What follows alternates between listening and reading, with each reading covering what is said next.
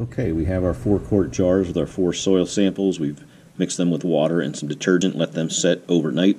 And now we're going to measure the soil layers and hopefully get a decent estimate of the percent sand, silt, and clay. So we've got a Sharpie to mark the size of the jars. We've got a metric ruler so we can measure the layers accurately down to uh, millimeters.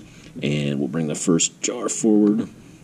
I take the ruler and measure up from a piece of foam core that I put down next to the jar. The foam core is the same thickness as the glass at the bottom of the jar, so we're not measuring a layer of glass at the bottom.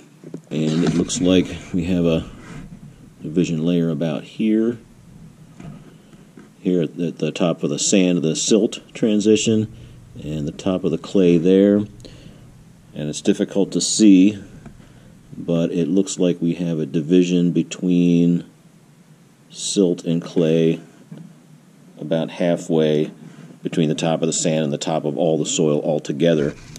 So now we'll measure those thicknesses. So measuring up from the bottom of the soil sample, we have a total of 70 millimeters thick of sediment with 60 millimeters thick of sand, another 5 millimeters thick of silt, and another 5 millimeters thick of clay. We just take the thickness of each of those soil layers divided by the total times 100, and that will give us an estimate of the percent sand, silt, and clay. We'll take a look at our second sample here next.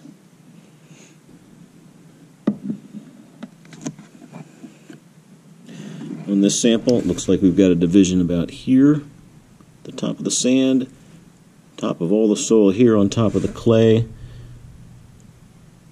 Tough to see, but I think we have a division between the clay and the silt there.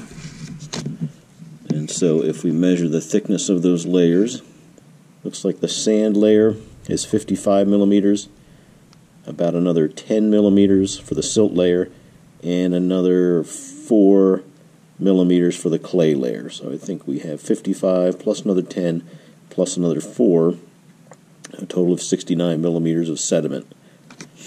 So we'll take a look at the next one. This sample and the next one, the third and the fourth samples here, didn't really have any sand in them. You can't see that here necessarily, um, but we could tell by feel when we collected these samples that there is essentially no sand. In other words, no grittiness to these samples whatsoever. So it looks like we ha have a division, I believe, between our silt and our clay there, and the top of our clay layer there. So we have 50 millimeters thick of silt, another 25 millimeters thick of clay. 25 and 50. So we'll take those numbers divided by the total thickness of 75 to give us the percent silt and the percent clay.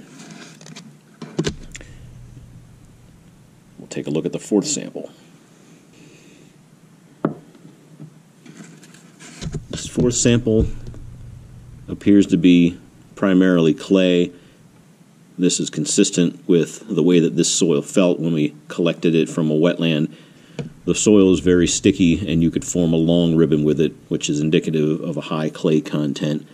If you can see layering between silt and clay here, your eyesight's much better than mine. I can't see any difference in anything here, so my interpretation of this would be this is primarily a clay. So we have some very different soil textures here, very sand dominated soil on the left, and then a soil that's largely silt and clay, the third one, and a soil sample that is predominantly clay.